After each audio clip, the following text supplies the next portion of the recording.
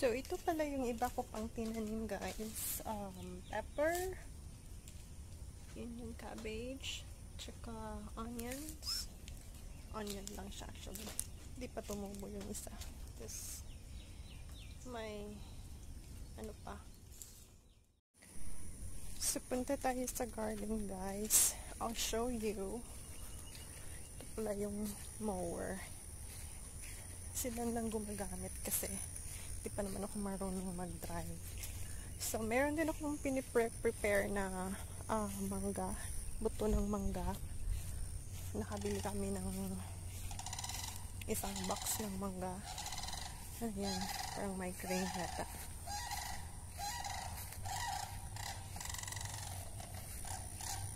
Sa likod ng bahay ko. So, ito yung um, ginawa ko last time. Ito para sa lettuce and spinach. Tapos, dagdagan ko pa siya. Ito naman yung mga okra ko. Yan.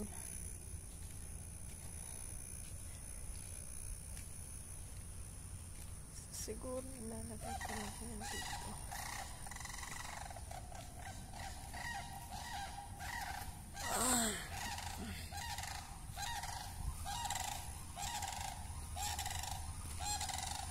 Yung corn.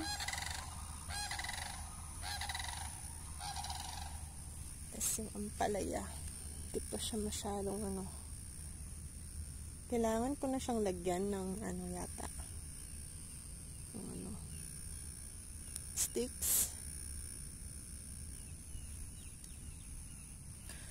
Oh my. Tsaka yung patatas.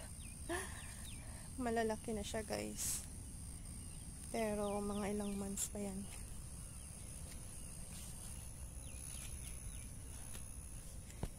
Na. Ito naman yung cantaloupe namin. Yan.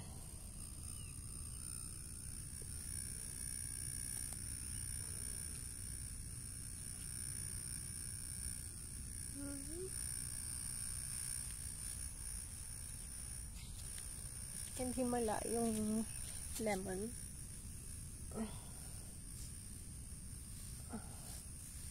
Parang nag-experiment lang kasi hindi ko naman sure ano bang alam ko sa pagtatanim pero mostly sa mga pinag-ano ko ay tumubo naman. So, ayos.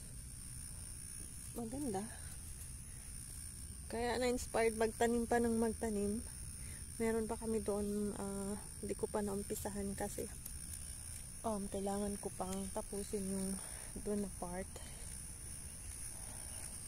Para mailipat ko na yung mga tumubo na. Sana wag kainin ng uod. My gosh. Ayan. Ayan. Sana talaga. Wow. Ano Ganda naman. Nakaka-excite magtanim.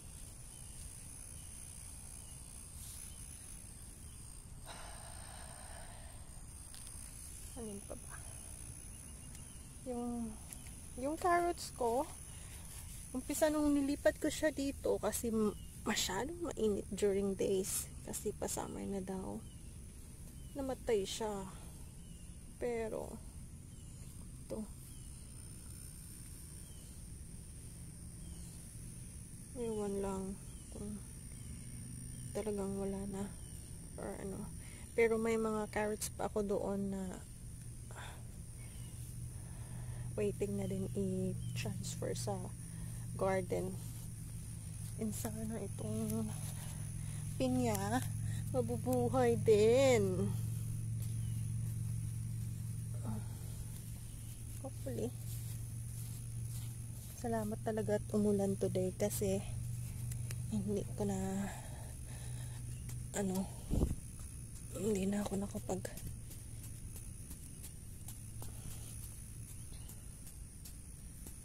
um dilig parang nagdidilig ako ng mga tanim twice a day. So parang okay lang ba talaga? Kasi grabe yung tubig na nagagamit para lang dito. Kasi nga ano kailangan mo siyang lagyan ng more pa na soil yung um, ang tawag nito buto ng mangga. Dapat siya hindi laging ay move ko na lang siya. So naulanan kaya yung tray na ginamit ko imbis na mag DIY ayan wala nalanta tuloy. Ito ready na to. Hihintay ko na lang yung lettuce tsaka yung spinach. Ito kailangan pang linisin at tsaka ano i-flat pa yung flat na yan.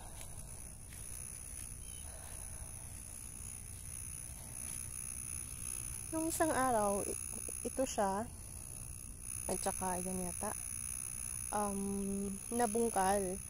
Kaya nagtaka ako kung bakit. Kasi wala namang sino-sinong taong nakakapasok dito. Kaya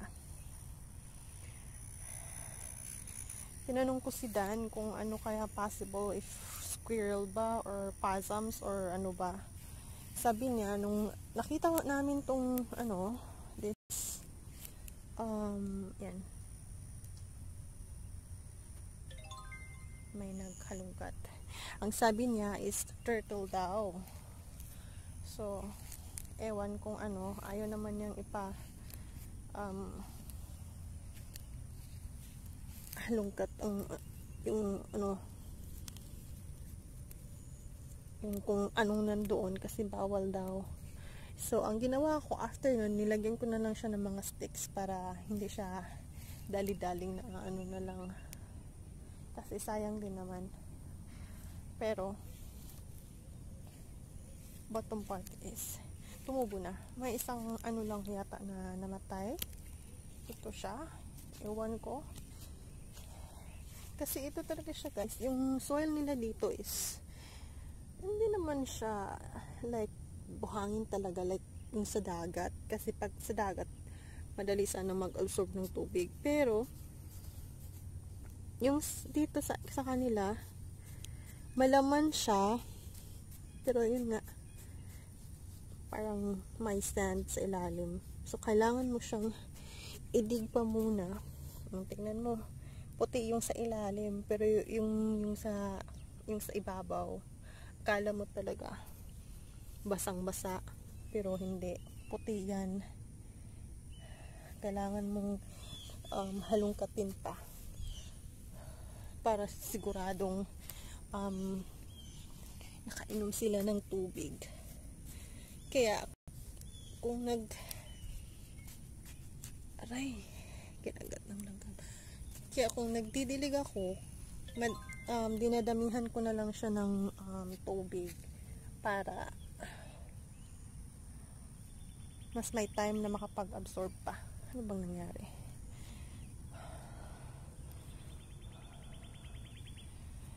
Siguro sa ngayon, ito lang muna. uh, wala pang bagong um, nilalagay dito sa ano, pat na to. Pero um, uh, ready na siya.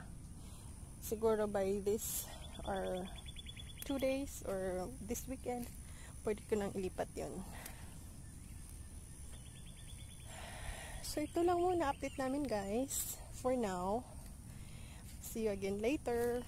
Thanks for watching.